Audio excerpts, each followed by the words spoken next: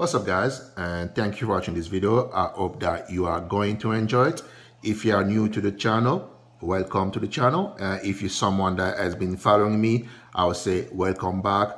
Today I have a pretty special video. It's all about this little guy. Uh, this is my custom build nano long range. Uh, this thing has a pretty neat setup. I'm going to show you how I got everything set up on this video. Thank you for watching guys and I hope that you are going to enjoy it.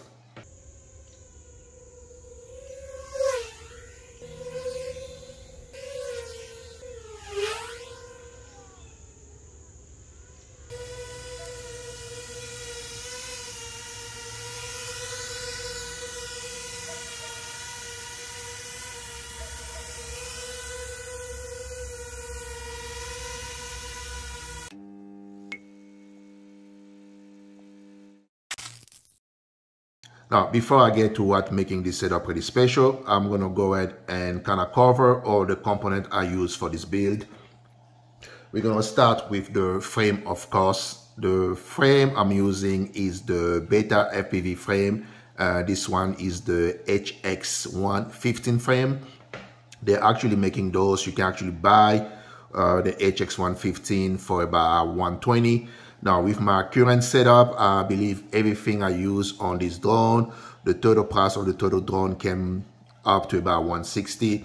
But trust me guys, this is a much better setup than the one Beta FPV are selling you button fly. If you want to buy it, I'll put a link to the drone so you can go buy it. I think that one is better than the 120s, but this is much better. And of course, there is nothing better than building your own drone so frame HX115 for Beta Fly, Beta FPV. Sorry about that, guys. Uh, very nice frame. The one thing I love about this frame is that it's all carbon. There is no plastic anywhere on this frame. Everything is carbon. Uh, it pretty much look like any of the freestyle frame that we are used to. Uh, the bottom plate is only two millimeter thick and the top plate, I don't know if you'll be able to see that, that is about 1.5 millimeter thick. So it's pretty thin, but the overall build weight is pretty much nothing. So I don't see anybody breaking this frame. Okay, let me go back. I'm pretty sure someone may end up breaking it, but the likelihood of you breaking this frame is very, very, very minimal. I would say this frame should be able to survive mostly any crashes on grass specifically. And I'm pretty sure you can survive some crashes if you hit it against a wall or against, against a pole. Sorry about that, guys. Uh, from there, we're going to talk to the motor, talk about the motor. Uh, the motor I'm using, those are the Robo motor. They are 1202 by 5 and the kV is 1100 kV, no, 11,000 kV motors. Very nice motor, very tiny motor. Those are the smallest motor that I haven't seen. But again, I'm not a nano guys. I don't really like to build a small drone. Uh, this was just a special case because I had something in mind and I wanted to test it out.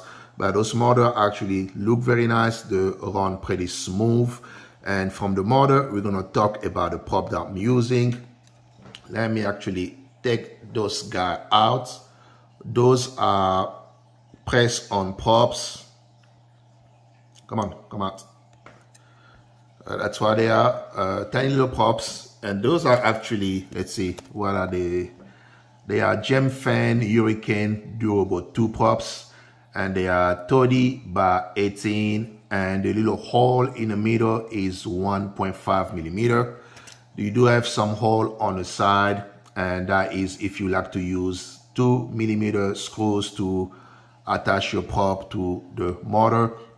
But really, I don't think you need to do that because they press on and they're actually staying in there. That's uh, pretty surprising to me. I didn't think they would be that good, but they're actually staying in there. And I'm not also using the screw because I don't want my, I don't want to end up bending my shaft in the case of a crash. Uh, with just press on, if I crash into something, the prop more likely either to break or just come off the motor. So I may end up saving the motors. Now let's go in the inside of the drone. I want to start with the receiver because right now what I have is my Express LRS 2.4 receiver and this one is the 8 JHEMCU receiver. That is, of course, another Express LRS 2.4 receiver. And we got the small little antenna. Uh, great receiver. I posted video about those type of receiver. You can actually go up to three kilometer with those receiver with no issues. Actually, I think on my videos, I went up to three miles. So that should give you all the range you need. And of course, you can see as a nano, I don't have a GPS on this guy because I don't really need it. I don't, I'm not expecting to set uh, fail safe with this receiver. From the receiver, we're gonna go to the flight controller, and this is a AIO flight controller. This is the Darwin FPV. Has both the flight controller and the ESC all together. And I think this ESC are 15 15 amp rated ESCs. That should be pretty enough for this little build. And on top of that, you got the VTX. Uh, this is a Zeus, Zeus, Zeus, Zeus, I can, I can say it. Zeus VTX, 350 milliwatt VTX, plenty of power for this little frame. The one good thing about this VTX, I believe you can go up to one miles, um, one miles or one kilometer in an open field. But I know with my receiver, I will be able to outrun my VTX, which is the one thing that matter the most. And as far as camera goes, we do have a little Caddx Ant Nano. That seems to be the primary camera for most of the Nano build or Nano and fly available on the market. Uh, very good camera for the price is very cheap and the image is actually pretty good. Uh, actually do enjoy the image. Uh, that is pretty much everything you have on this drone. Uh, the build wasn't that much difficult, but I would say it's a little challenging because of all the little parts, uh, all the little soldering parts.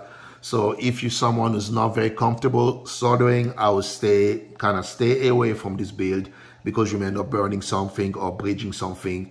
Now, let's go to the part that's making this setup pretty special is that I have this drone set up to where you could run it on either a 18650 cell or on a 2S battery.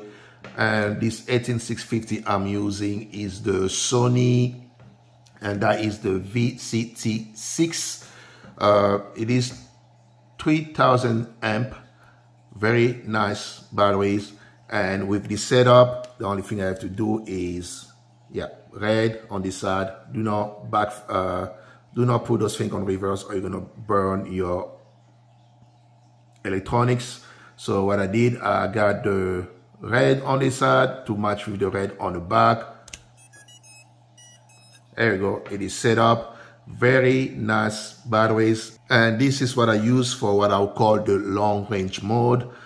With this battery, I am actually getting about close to 18 minutes of flight time.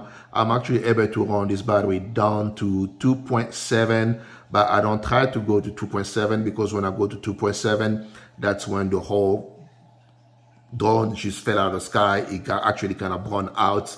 So I've been running it down to 2.8 and the good thing is I'm getting 18, 18 minutes of flying and that is primarily just cruising around. Nothing crazy, just some cruising, you know, slow flights I'm getting 18 minutes. Now, if I want to push a little bit to go a little faster, really, really going faster, I would say I'm getting 12 minute flight time on this little battery. That is very nice. Nothing, uh, that is very nice. And of course, 12 minutes to 18 minutes. So if you just want to, something to just fly around, something to explore, you can use this setup with the 18650. And that is pretty much what I've been using I'm not really big into uh, long range flying. I'm mostly into endurance flying, which is the longer flight, the better. And I've been using this guy to just explore around my house. I've been going into the wood. I've been going to places like I would never think about going with my 7 inch or 5 inch or even my 3 inch drone. So very nice. It is pretty small. It can pretty much squeeze everywhere you want to. And the VTX to be a 350 milliwatt VTX, I have to say this VTX actually does do pretty good work. I have taken it to one of the local park and I have flown it as far as 500 meter away from me and the VTX was still working pretty fine. I didn't have any uh, crazy breakup on my video. And that is pretty amazing since I'm using a linear antenna. You think that with a linear antenna, uh, transmission from the VTX won't be that good but I took it up to 500 meter away from me. And I can say that I'm pretty confident I can go up to one kilometer with the VTX with no any problem. Now, the other mode of this build is of course the 2S mode. And I have my XT60 set up in the bottom. And that is one of the good things about this uh, AIO flight controller from Darwin FPV is that they do give you two spots where you can connect your lead for your battery. And let me see if I can show you that on top. You got this guy and this guy. Yes, guy, I use two black wire for my XT60. So you can connect it on top and in the bottom, and here you got the red. That's what I use to connect my 18650 battery and you got the black on this side. So you got two spots to connect your battery. So I'm taking advantage of both of them. One thing I, I had to warn you guys, if you're gonna be using this setup, make sure to not run both battery in the same time because with the setup, the way I got everything connected, those batteries are pretty much running in parallel. And one of the big thing about running battery in parallel is that you have to make sure you're running the same number of cell. So if I if you if I end up connecting this one cell with this two cell, one one of them is gonna end up catching fire and more likely I'm gonna end up burning everything as far as electronic goes. So talking about running this guy on a freestyle mode, that's what I'm calling it, with the 2S, it does actually do pretty okay as far as freestyle go. But you gotta remember guys, this is a pretty light build. The total weight with the 18650 is about one 111 gram. And the total weight with the 2S battery it's about 98 gram yes guys you heard me 98 gram and the reason is because the 2S actually much lighter than the 18650 18650 battery uh, freestyle wise fly pretty okay for its size it's very light I mean if there is any kind of wind right? The wind gonna push your drone away. But except for that, you can pretty much do everything you can do on the on a bigger quad. It does not fly like a five inch drone. So that's pretty much it doesn't it's not close to a five inch drone. But I've been flying around. I've been pretty much doing all my tricks I usually do. You know, we're talking about power uh, uh power loop, split S, pretty much everything I do on my 5 inch drone, I can do it on this little drone. Actually, I'm doing a little more on this little drone because it's so small. I know I'm not going to break it, so I'm taking more chance with this little drone. But overall, it does fly great. Not great. It does fly good as a freestyle drone.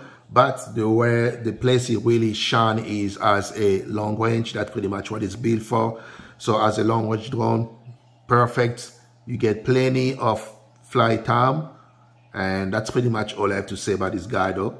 I don't want to make a big deal out of it, but I just want to bring it up to your attention. If you're thinking about building this guy, I put oh, I put the list with everything I use for this build. And just remember, you can run it both as a 1860 long range drone or as a 2S freestyle drone. Thank you guys for watching this video. I hope that you enjoyed and I will see you on the next one.